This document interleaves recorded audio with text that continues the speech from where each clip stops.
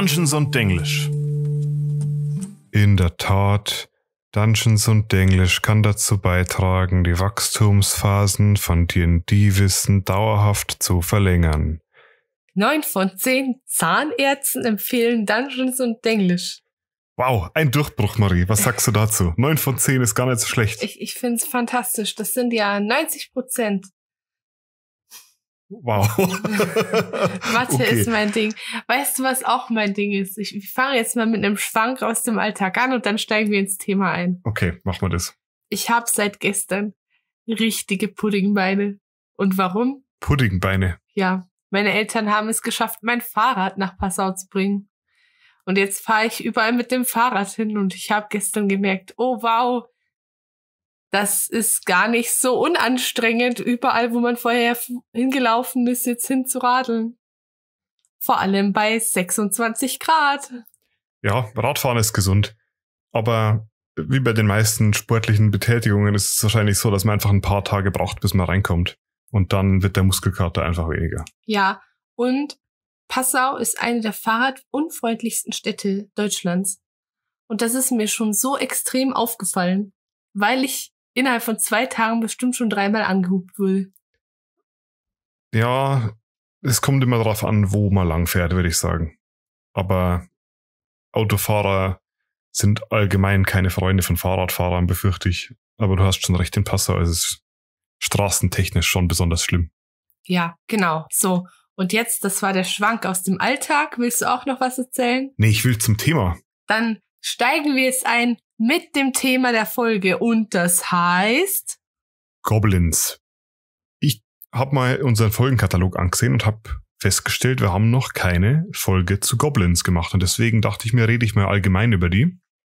Wichtig ist dabei, man muss schon mal unterscheiden zwischen Goblins und Goblinoiden.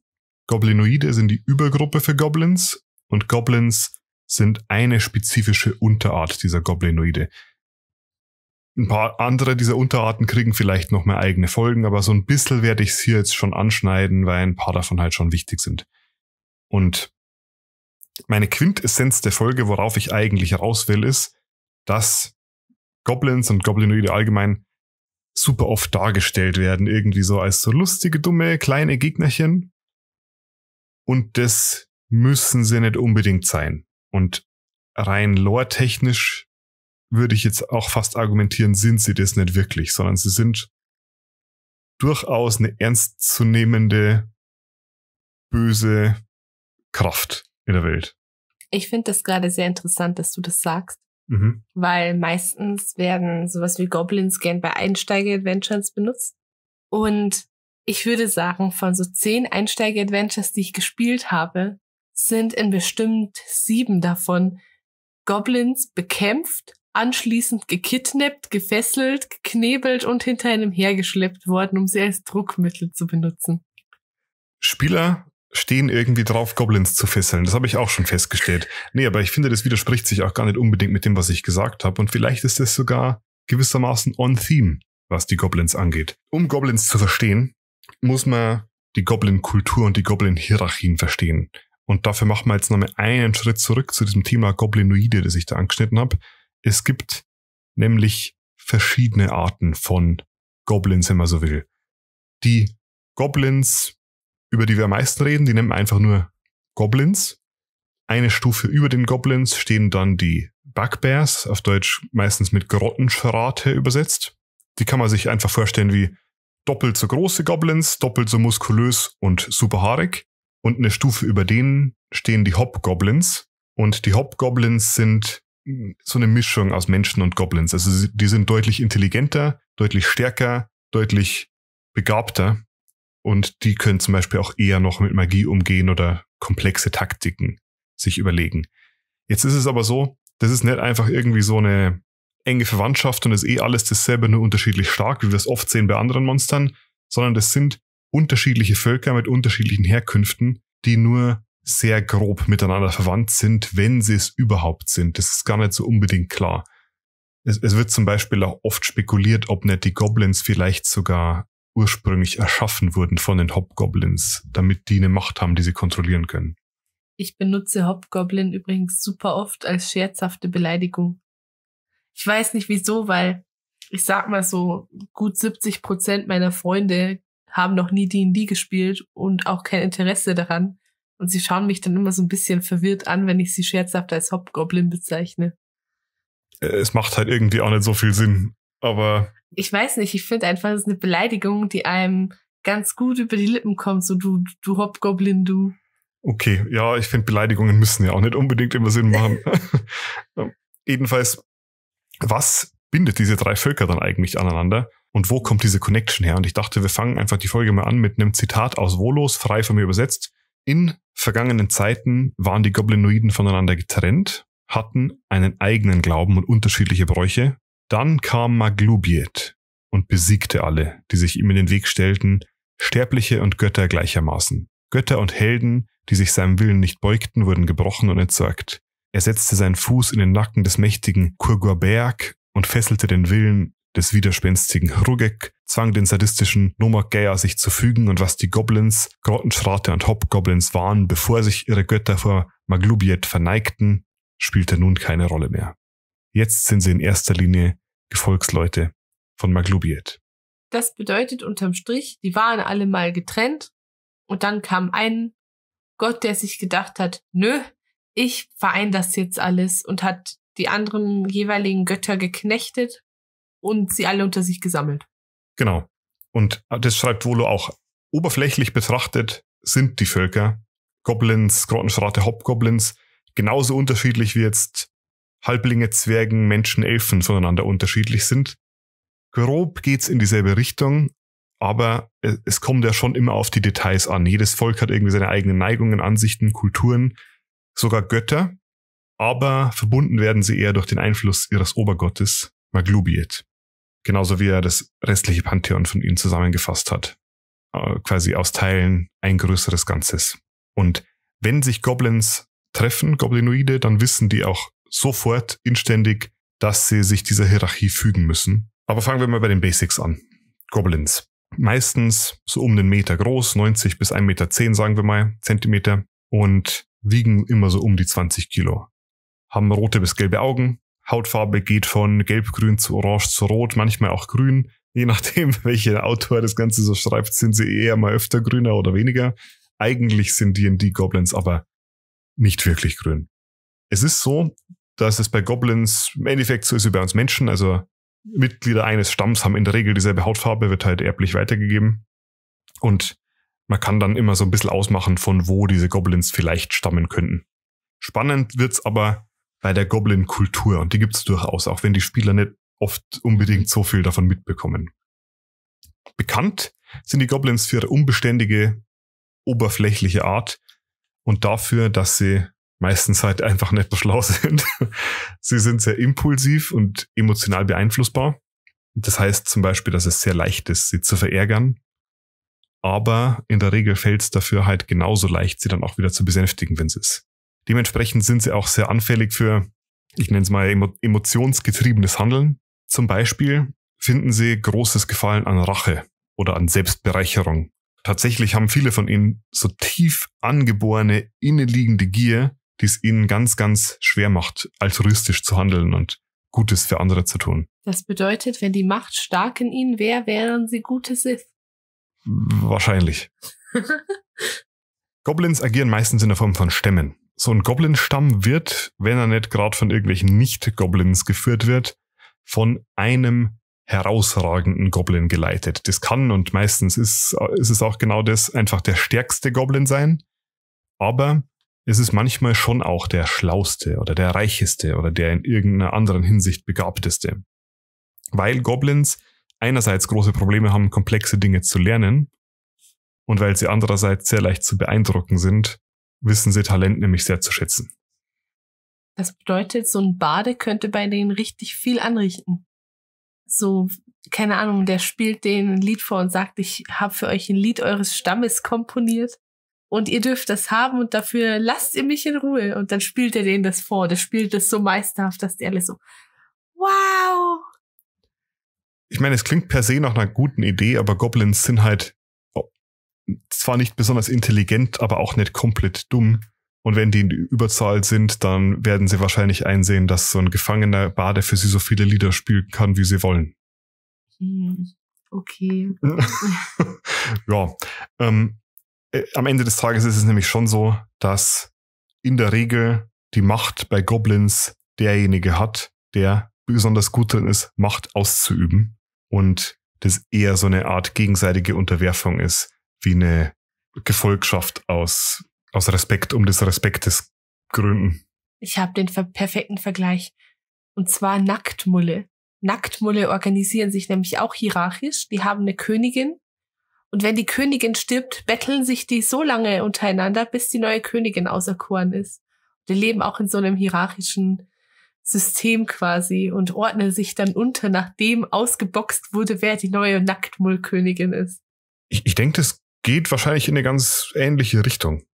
Und wir haben es ja vorher schon angesprochen, also dass Goblins ganz oft auch nicht Goblins als Anführer haben, hat schon so seine Gründe. Wir haben es ja äh, gesagt, Goblins wissen einfach, dass sie mit Grottenschraten und Hobgoblins zusammenarbeiten müssen. Und in dem Fall heißt es für die Goblins halt, sich unterwerfen.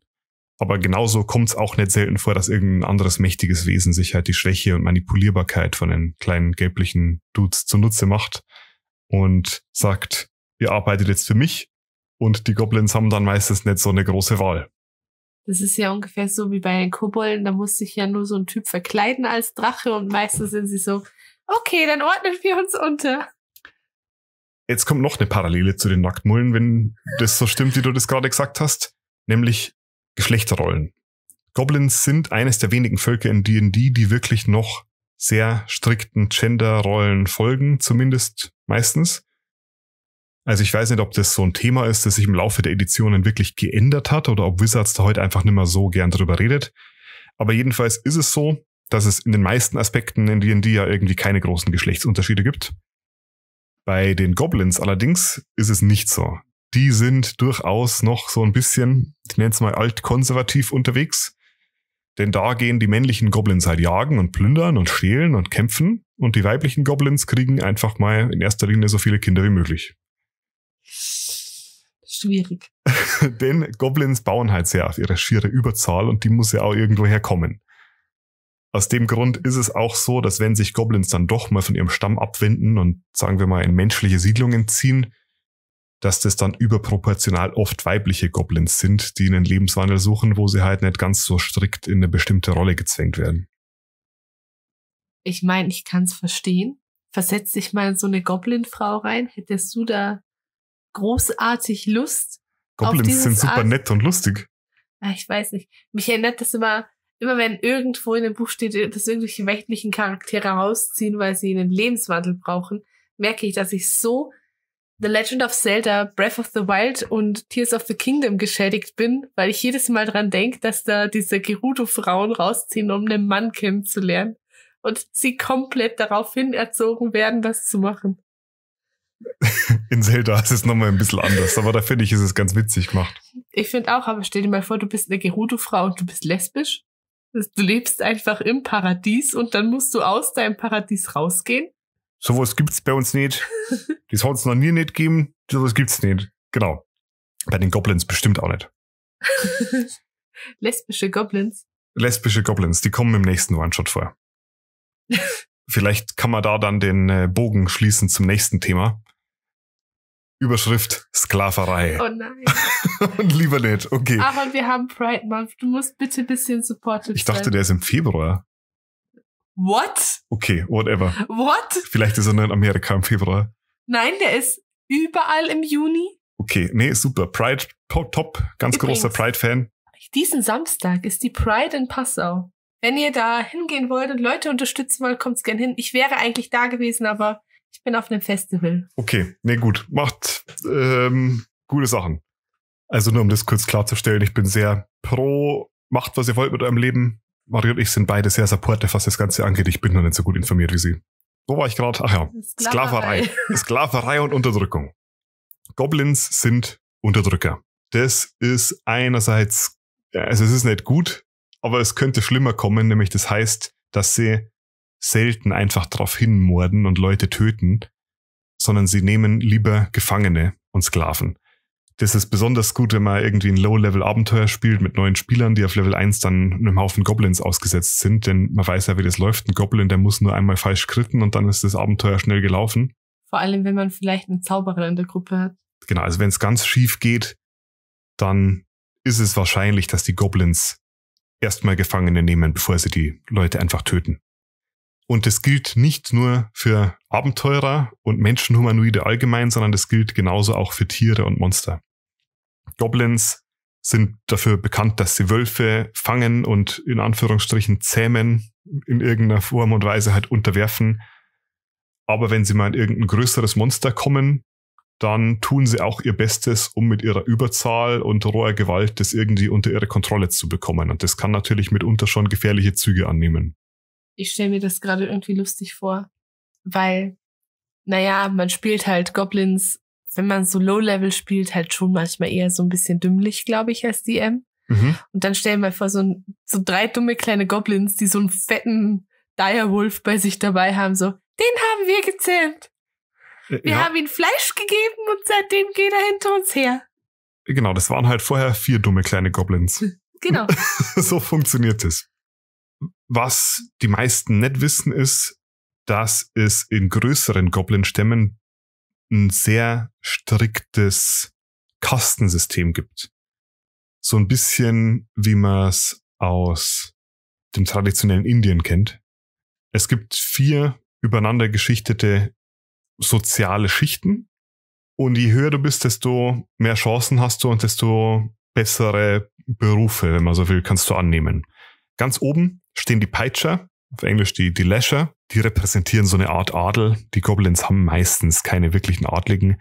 Aber das sind halt Goblins, die irgendwie besonders geschätzt werden, entweder durch ihre Abstammung oder weil sie im Kampf besonders ausgebildet sind. Und die haben dann die wichtigsten Fähigkeiten im Stamm. Also die sind Strategen, die können Fallen bauen, Tiere zähmen, Bergbau, kennen sich vielleicht ein bisschen mit Schmiedekunst aus und haben Ahnung von Religion. Und man kann sich jetzt vorstellen, dass die Leute, die sich da besonders gut auskennen, dann natürlich auch die Leute erziehen, die sich dann zukünftig damit gut auskennen werden. Und damit bleibst du dann wieder in diesem Schichtensystem, wo es schwer ist, rauszukommen.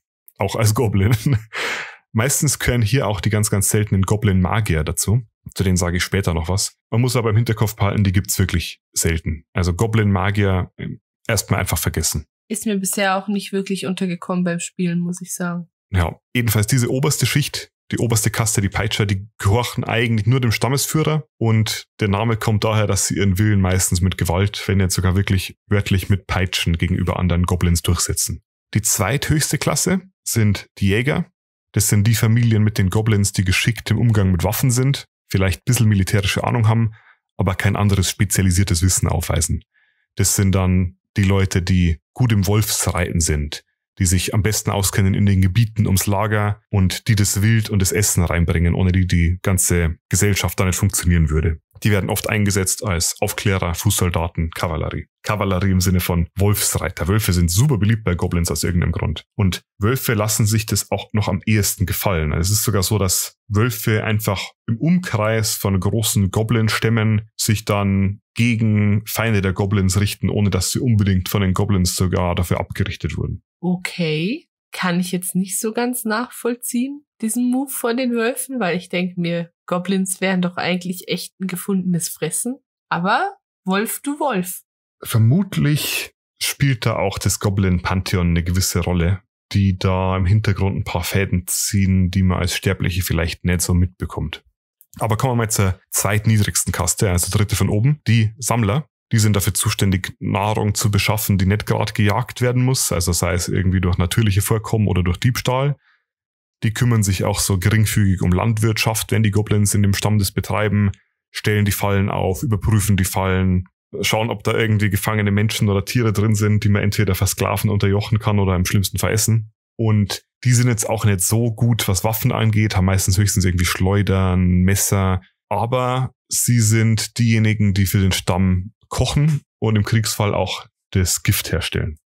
Ganz unten sind die Pariahs, auf Deutsch würde ich es jetzt mal übersetzen mit die Geächteten. Das sind so die Goblin-Familien, die halt am dümmsten sind, am wenigsten gebildet, am schwächsten, die sonst zu nichts bringen Und die erledigen halt dann im Stamm die schmutzigen Aufgaben, das Ausmisten von Tiergehegen, die graben die Minen, die äh, nehmen im besten Fall noch die Aufsicht über die Sklaven an, weil die haben gar keinen Status, von daher hast du mit bisschen Status zumindest schon mehr zu sagen als die und hast dann hier nochmal deine Chance, dann doch irgendwie nochmal Macht auszuüben. Hm, irgendwie krasses patriarchales System. Gibt's auch so Goblin-Revoluzer? Die so sind so, nein, wir machen jetzt einen Goblin-Aufstand, wir Nee. lassen uns das nicht länger gefallen. Ja, also ich würde schon sagen, dass es größtenteils, also patriarchal ist hier per se nicht falsch, aber es gibt viele Goblin-Stämme, die weibliche Anführerinnen haben. Denn wenn du halt als weiblicher Goblin derjenige bist, der das Talent hat oder die Macht, dann hast du Glück gehabt.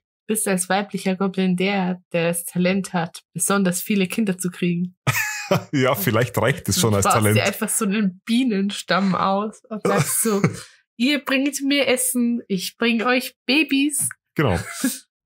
Ja, du merkst schon, dieses ganze Goblin-Kultursystem ist, geht stärker in die Tiefe, als man denkt. Und es ist strukturierter aufgebaut, als man vielleicht als Spieler jetzt erwarten würde. Es ist wirklich so, jungen Goblins wird von Grund auf ab dem ersten Jahr beigebracht, dass das Recht der Stärkeren überwiegt, das Egoismus, das äh, ist, wonach man streben sollte. Und von daher ist es auch irgendwie so, wenn ein Goblin jetzt vor eine Situation gestellt wird, wo er sich entscheiden muss, rette ich mich oder rette ich meinen besten Freund, dann wählt er in 99 Prozent der Fälle sich selbst. Dafür, dazu werden sie erzogen. Allgemeines Aggressivität und Gewalt ein sehr wichtiger Aspekt in der Kultur der Goblins. Und es ist eine angebrachte Lösung für eine ganze Menge Probleme, die es bei uns vielleicht nicht unbedingt wäre. Ihnen ist halt durchaus bewusst, dass sie schwächer sind als andere Völker, weniger intelligent. Ähm, als Kollektiv kriegst du das halt mit. Da, da, da sind sie nicht blind dafür. Und das gleichen sie halt, wo sie können, aus. Einerseits mit ihrer schieren Menge und andererseits dadurch, dass sie gerne hinterhältig und tricky sind. Also sie verstecken sich, arbeiten mit Giften, arbeiten mit Fallen. Und das funktioniert schon, sonst hätten sie sich ja nicht so lange gehalten. Ich erinnere mich gerade daran, wie wir gerade gegen Goblins gekämpft hatten, uns ging es nicht mehr so gut, haben dann gerastet. Keiner von uns war natürlich ein Elf, der nur vier Stunden meditieren muss. Und Aaron sagt zu einer Mitspielerin, würfel mal einen D100. Sie würfelt eine 3. Und dann kamen drei Goblins aus dem Gebüsch und wir waren so, nein, nicht schon wieder Goblins. Aber wir haben halt auch in der Nähe deren Höhle gerastet. Das war nicht so klug. Nee, das war wirklich nicht so klug. Aber ja, in Büschen können sie sich gut verstecken. Ich meine, wenn du klein bist und eh vielleicht schon dieselbe Farbe hast wie das Buschgeblätt, ge Geblätt, dann ähm, tust du dich natürlich leichter. Aaron gibt gerade Tipps an alle kleinen grünen Spanner. Versteckt euch im Gebüsch, da tut ihr euch leichter. Genau, also wenn ihr spannend wollt, malt euch grün an. Das ist, was ich sagen möchte. Nein, Nicht? das war ein Jokus. Aaron meinte das nicht ernst. Ach so, okay. Nee, meinte ich nicht ernst. Reden wir nochmal ganz kurz über das Goblin-Pantheon. Beziehungsweise über das Goblinoide Pantheon. Es gibt einige Götter, die da von Relevanz sind. Und vielleicht ist es besser, wenn ich sage Relevanz waren. Denn hauptsächlich gibt es einen, nämlich Maglubiet, den Eroberer. Den verehren die Goblins. Aber mehr als sie ihn verehren, fürchten sie ihn. Denn er hat ihre ursprünglichen Götter alle Zermatscht. zermatscht. da gab's dann so Leute wie Bagriviek, den Goblin-Gott der Einheit und der Kooperation, Grankul, den Grottenschratgott der Jagd, Rugek, den Grottenschratgott der Gewalt. Aber nicht alle von diesen Göttern wurden wirklich unterjocht von Maglubiet, sondern zwei haben's geschafft zu entkommen, zumindest mehr oder weniger. Einer auf jeden Fall, nämlich Kurgur Berg, den hat er bewusst am Leben gelassen, der Goblin-Gott der Versklavung und der Unterdrückung. Der, das ist der Grund dafür, warum sie so, so unbedingt darauf stehen, Leute gefangen zu nehmen und zu versklaven und zu unterdrücken, weil ihre Religion das vorgibt. Aber die andere Gottheit ist spannender. Die hat Maglubiet der Sage nach nämlich nicht gefunden, denn sie hatte keinen Namen. Der namenlose Gott der Goblins ist irgendwie entkommen und hat's geschafft, man weiß nicht genau wie, vielleicht nur in Bruchstücken weiter fort zu existieren. Und diese Bruchstücke, geisterhafte Teile dieses Gottes, die ergreifen manchmal Besitz von einzelnen Goblins, besonders Goblins, die sehr schlecht behandelt werden, und verwandeln den Goblin dann mehr oder weniger in einen Gegenteil-Goblin. Und genauso nennen die Goblins das Ganze dann auch, nämlich einen Nilbok. Goblin rückwärts. Ich habe gerade an was ganz anderes Dummes gedacht. Was denn? Ich, ich stelle mir so vor, wie dieser namenlose Gott es geschafft hat zu flüchten Und dieser Maglubiet ist jetzt hart auf der Suche nach dem und dann trifft er ihn und sagt, Entschuldigung, ich suche so einen namenlosen Gott. Hast du den hier gesehen? Nee, habe ich nicht gesehen. Okay, wie heißt du? Äh, äh. Franz. Wow. die, die Nilbox, die sind eine ganz mysteriöse Sache jedenfalls, weil die von ihrem Gott, diesem namenlosen Goblin-Gott, seltsame Fähigkeiten bekommen, die sie unglaublich nervtötend machen Hm. für die Unterdrücker dieser Goblins oder sogar die anderen Goblins in der Gruppe. Denn ein Nilbok, der heilt sich, wenn er Schaden nimmt. Und er bringt dich auch dazu, dass wenn du böse zu ihm bist, dass du nicht mehr böse zu ihm sein willst, sondern dass du plötzlich nett zu ihm sein willst und dass du quasi dich eigentlich genau andersrum ihm gegenüber verhalten möchtest. Und selbst wenn du es irgendwie schaffst, ihn loszuwerden und zu töten, dann ergreift dieser Nilbok-Geist einfach Besitz von einem anderen Goblin und lässt dem dann diese übersinnlichen Kräfte zuteil werden. Das ist echt hart nervig. Das ist ungefähr das Äquivalent von dieser Fingerfalle. Hast du die schon mal gesehen in Mulan, die man so auf die Finger steckt und dann kriegst du deine Finger nicht mehr raus? Ich glaube nicht. Im zweiten Mulan-Teil. Und dann, das ist der Prinz von irgendeinem Kaiserreich und der spielt da mit dieser Falle und kriegt die Finger nicht mehr raus. Und ungefähr so nervig stelle ich mir das vor. Ja, und diese Goblin-Heere, die haben das durchaus bemerkt, dass das eine nervige Sache sein kann. Und um zu vermeiden, dass solche Nilbox entstehen, denn wie gesagt, die kommen immer daher, wo Goblins extrem unterdrückt werden und keine wirklichen Auswege mehr finden, haben sie angefangen, immer mindestens einen Goblin zum Narr zu ernennen, der quasi Narrenfreiheit genießt, machen kann, was er will und sich nicht unbedingt an die Strukturen halten muss. Und wie sie versuchen, damit ein bisschen zu vermeiden, dass Nilbox entstehen. Sie haben also sich wirklich die Lösung gesucht nach dem Thema, verdammt, wir haben ein verdammt unterdrückendes Schichtensystem, was können wir machen? Wir suchen uns einen Dorftrottel. ja, so ungefähr. Es gibt noch eine andere Goblin-Unterart, die ich noch ganz kurz anschneiden wollte. Ah, vielleicht schiebe ich die in die, in die Hobgoblin-Folge, wenn es da mal eine gibt, nämlich die Koalins. Die kommen auch vor in den 5e-Abenteuern. Das sind Meeresgoblins. So ein bisschen das, was, ähm, was ein Seeelf zu einem normalen Elf ist, ist ein Koalint zu einem Hobgoblin. Eigentlich nicht zu einem Goblin. Deswegen, glaube ich, passen sie dann lieber in die Hobgoblin-Folge. Dann bleibt noch eine Sache, nämlich Goblin-Magier. Da sie nicht besonders schlau sind, tun sie sich sehr schwer mit Magie. Und die Intelligenz ist das eine, das andere ist die natürliche Gabe, die man dafür haben muss und die Geduld. Und alles dieses sind Sachen, die fehlen Goblins. Und deswegen gibt's nur ganz, ganz selten welche, die sich wirklich Magie aneignen. Und die lassen sich kategorisieren. Goblins haben einen eigenen Namen für ihre Magier. Die nennen sie Bujaks. Und es gibt fünf große Kategorien. Ich habe nur die englischen Namen parat. Die Bujak Caster. Das ist ein Goblin, Klassiker, der hat vielleicht unter dem Hobgoblin Magier oder so gearbeitet, hat da ins Zauberbuch reingesehen, hat irgendwie dem ein bisschen bei seinen Handbewegungen zugeschaut, hat einen Zauber nachgemacht und hatte dann vielleicht wirklich noch das Glück, dass er auch die Gabe hatte, diesen einen Zauber dann wirklich zaubern zu können. Und der beherrscht halt einen Zauber und wow, damit ist er schon der Obergoblin in seiner Truppe. Imagine, du beherrschst einen Zauber und dann ist es sowas wie Prestidigitation. ja, meistens sind es nur diese schwächeren Zauber. Häufiger sind allerdings die Bujak Wielder, die irgendwie an ein magisches Artefakt gekommen sind und dann dieses magische Artefakt benutzen, um dadurch ihre Magie zu wirken. Das heißt, sie sind nicht wirklich Magier, sondern sie nutzen nur irgendwie die Umstände aus, die ihnen in die Hände gefallen sind. Die zwei, würde ich sagen, kommen noch am ehesten vor. Spannend wird's jetzt aber so ab Stufe drei, nämlich den Bujak Peitschen. Das sind Goblins, die besonders auserwählt wurden von Kurgaberg, dem Gott der Unterdrückung, wie wir vorher gesagt haben. Der gibt nämlich manchmal besonderen Goblins die Fähigkeit, ihre Mitgoblins einfach zu unterdrücken. Auf magische Art und Weise, sie zu dominieren. Und die haben dann meistens irgendwie eine Handvoll anderer Goblins, die quasi ihnen einfach an den Fersen hängen und alle Wünsche von den Lippen ablesen, was sie prädestiniert dazu macht, einen Stamm zu führen. Okay. So. Du kennst dich ja inzwischen ein bisschen aus mit Magie. Wenn du nicht so gut drin bist, Magie aus Büchern zu lernen, was hast du denn sonst noch für Optionen, um an Magie zu kommen in D&D? Ich klau mir ein mächtiges magisches Artefakt. Hatten wir schon? Ich suche mir Hilfe Was heißt das? Ähm, also entweder werde ich zum Warlock Mhm. und suche mir, keine Ahnung, einen Däm- Dämon, der mir Magie dafür gibt, dass ich ihm im Austausch einmal im Monat einen Goblin-Kollegen von mir abschlachte. Ja, die, die gibt's. Die nennen die, die Goblins Bujak-Sklaven. Oh, okay. Die gehören, äh, meiner Meinung nach sind es wahrscheinlich die mächtigsten Magier unter den Goblins, denn das sind effektiv Warlocks. Und wie stark ein Warlock werden kann, findet man als Spieler ja leicht raus. Ganz häufig arbeiten Goblins für Untote, also Vampire, oder für Vetteln. Okay, ja, gut. Beides eher unangenehme Genossen. Ja. Ich spoil mal die letzte Variante, die es noch gibt. Du kannst angeborene Magie haben, nämlich als Sorcerer zur Welt zu kommen.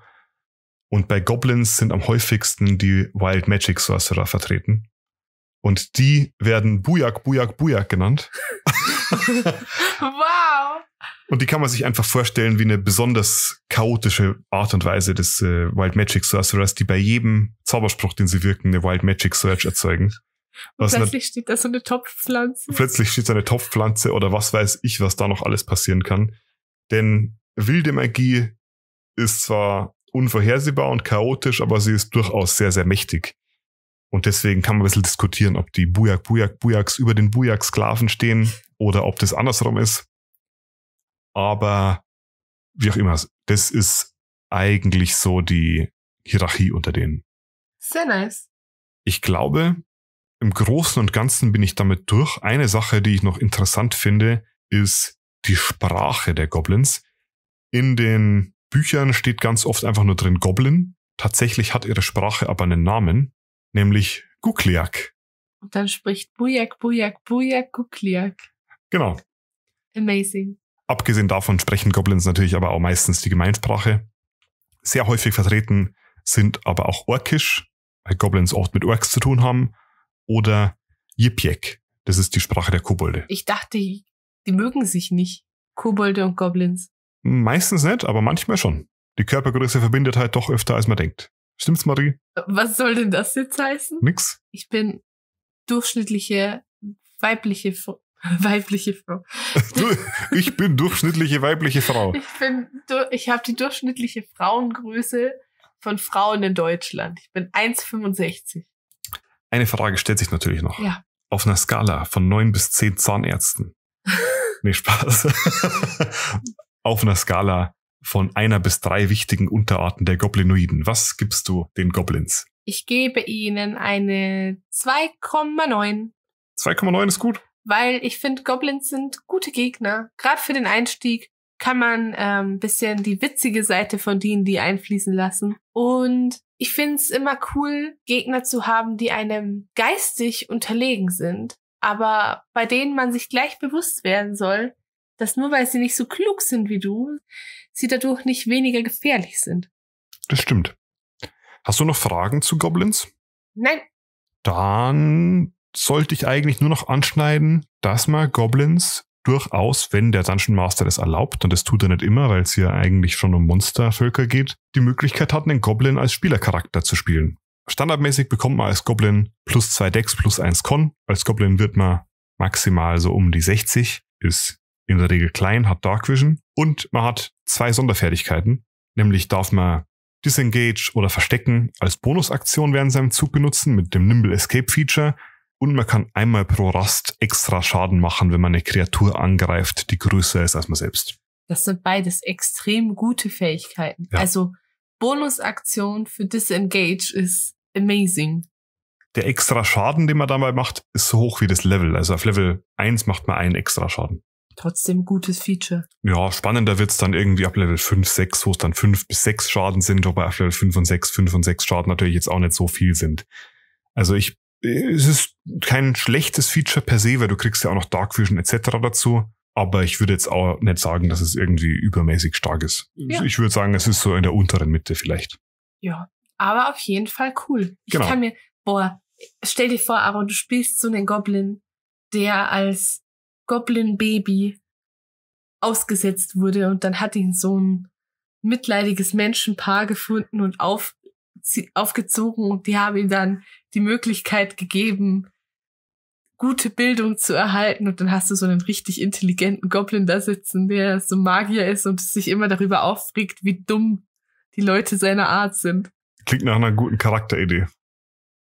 Ich hab, ich, ich hab gerade richtig ein, ich wurde gerade richtig inspiriert.